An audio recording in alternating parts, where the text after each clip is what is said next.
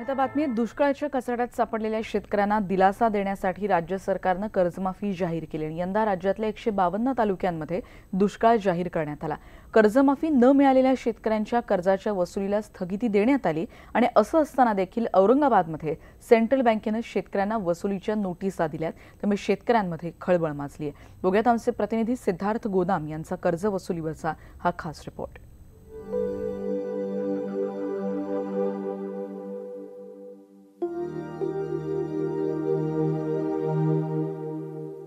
औरंगाबाद तालुक्यातल्या पिंपरी राजा गावचे तरुण शेतकरी कृष्णा पवार चांगलेच हवालदिल झालेत. त्यांच्यासमोर डोळ्यातून अश्रू ढाळण्याशिवाय आता पर्याय राहिलेला नाहीये. मोठ्या आशेनं कृष्णा यांनी शासकीय योजनेतून शेततळ घेतलं तळ्यात पाणी आणण्यासाठी पाईपलाईनही केली. पाईपलाईनसाठी त्यांनी सेंट्रल बँकेचे साडेतीन लाखांचं कर्ज घेतलं पण आज बँकेनं त्यांना तब्बल साडे अकरा लाख रुपयांच्या वसुलीची नोटीस दिली आहे विअर पाईपलाईनसाठी मी सेंट्रल बँक ऑफ इंडियाकडून कर्ज घेतलं होतं. विअर पाईपलाईनसाठी मी पाईपलाईन केली विअर केली.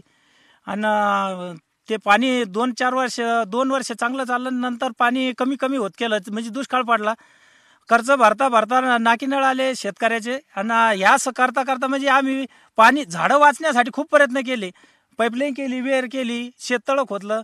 आता विहिरीतच पाणी नाही राहिलं तर याला भरायचं कुठून आता? आम्ही इतकी परिस्थिती आता हालाकीची झालेली आहे शेतकऱ्याची. का आम्ही तुम्हाला सांगू शकत नाही? कारण की कर्ज भरण्यासाठी आमच्याकडे एकही रुपया शिल्लक राहिले नाही. खायला दाणे नाही राहिले लोकांकडे आणि तुम्ही सांगू राहिले का कर्ज भरा? कृष्णा यांनी पाणी आणण्यासाठी पाईपलाईन टाकली. मात्र पावसाअभावी त्यांना पाईपलाईन टाकूनही शेतात पाणी येऊ शकलं नाही. त्यामुळे त्यांना शेतीतून उत्पन्नही मिळालं नाही.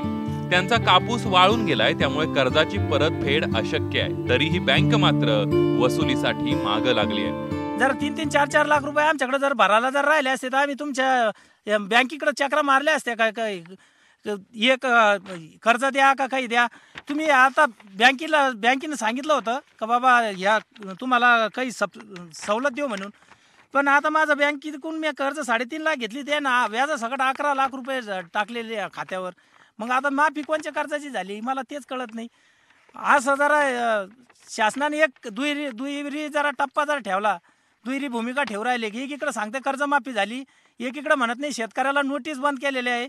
पण आता या नोटीसवर नोटीस येत राहिले तर मग आम्ही करायचं काय नेमकं? शेतकऱ्यानं काय आता मरा का काय करा? पहा साहेब याच्यात पाणी आहे का तुम्ही? आणि मग शेतात बी काय राहिलं ते बी पहा तुम्ही. शेतात बी काही नाही राहिलं आता. गावातल्या शिवाजी माने यांनाही कृष्णा पवारांप्रमाणे कर्ज फेडण्याची नोटीस सेंट्रल बँकेनं पाठवली आहे. पाईपलाईनसाठी घेतलेलं पाच लाखांचं कर्ज यंदा दुष्काळामुळे त्यांना फेडता येत नाहीये. लोन पाईपलाईन विहीरसाठी घेतलं होतं. आणि आज दुष्काळ पडल्यामुळे पाणी पण आलं विहिरीत आणि पाईपलाईन बी झाली. त्याच्यामुळे आता हप्ता बी फेडणं मुश्किल झाले. आणि बँकेच्या नोटीस नोटीस येऊ लागले.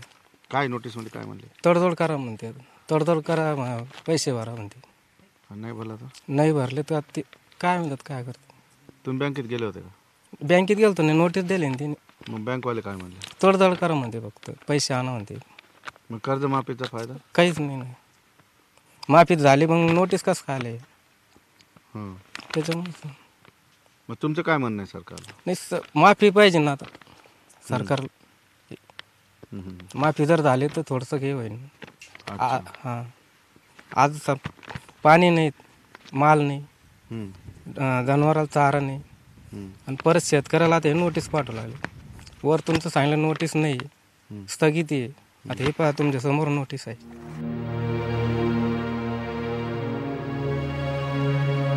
दुष्काळात जाहीर केलेला सरकारी मदतीचा हात अद्याप शेतकऱ्यांपर्यंत पोहोचलेला नाहीये. मात्र कर्ज वसुलीच्या नोटिसा शेतकऱ्यांच्या दारात पोहोचायला लागल्यात. गुराढोरांसहित एवढ्या मोठ्या संकटात जगायचं कसं हा सवाल शेतकऱ्यांना सतावतोय. अशा त्या नोटिसा शेतकऱ्यांचा तणाव वाढवण्यासाठी हातभार लावतायत. पिंपरी राजा येथील शेतकरी कृष्ण पवार आणि शिवाजी म्हात्रे यांनी मोठ्या आशेने कर्ज घेऊन पाईपलाईन शेतात टाकली.